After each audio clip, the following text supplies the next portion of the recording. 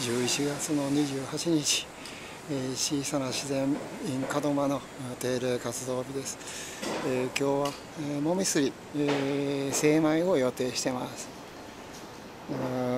すっかり、えー、周辺の里山を紅葉にしてきましたね。